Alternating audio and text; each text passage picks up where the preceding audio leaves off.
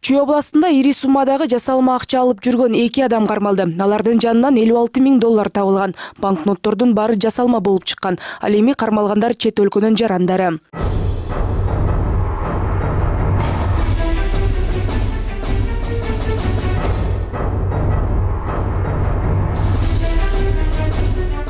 тергөөнүн жүрүшүндө жасалма акча жогорку технологияда даярдалып кыргызстанга туркиядан алып келингени белгилүү болду. Ыкчам маалыматтар боюнча акчаны жасоого жана аны бул жака жиберүүгө учурда стамбулда жашап жүргөн кыргызстандын жарандары ильяс сабиров менен мансур субановдун катыштыгы бар. Буга чейин ильяс сабиров бишкектеги кытай элчилигинин имаратын жардырууга тиешеси бар деп айыпталып интерпол тарабынан издөөгө алынган. Э, бул факт боюнча мамлекеттик улуттук коопсуздук комитетинин органдары тарабынан э, кыргыз республикасынын кылмыш кодексинин жүз токсон сегизинчи беренесинин экинчи бөлүгү боюнча кылмыш козголуп тергелип баштады.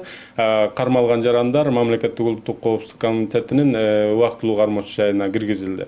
Мына ушундай ири суммадагы жасалма акчалардын кармалгандыгына байланыштуу мамлекеттик улуттук коопсуздук комитети башка мамлекеттердеги шериктеш структураларга дагы ориентировкаларды жөнөттү.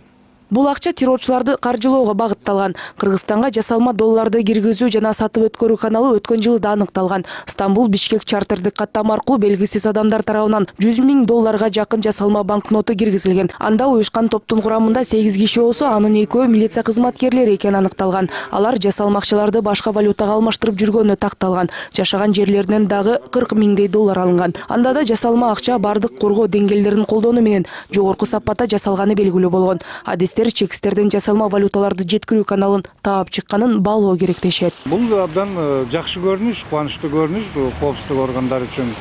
Э, анткени э, эгер учурунда ачылбай кала турган болсо ал акчалар жанагындай жаман иштерге жалдама киши өлтүрүүчүлөргө же болбосо дагы бир жардырууларга же болбосо жардыруучу заттарды сатып алууга же болбосо дагы согуштук иш аракеттер жүрүп атат мына ошол жерде айрым учурларда булар жалдам аскерлерди колдонгон жерлери бар ага төлөшөт кимдир бирөөнү сатып алууга да төлөшү мүмкүн деги айта берсе мунун максаттары ар түрдүү болушу мүмкүн да ошондуктан муну бул жагынан абдан чоң иш жасалыптыр да муну кылмыш жаза кодексинин жүз токсон сегизинчи беренесине ылайык жасалма акча сактап же өткөргөндөр күнөөсү далилденсе жыйырма жылга чейин эркинен ажыратылат эгер террористтик актыларды уюштурууну көздөгөндөр аныкталса жазасы күчөтүлөт рахат жаныбекова владимир кубалдиев нтс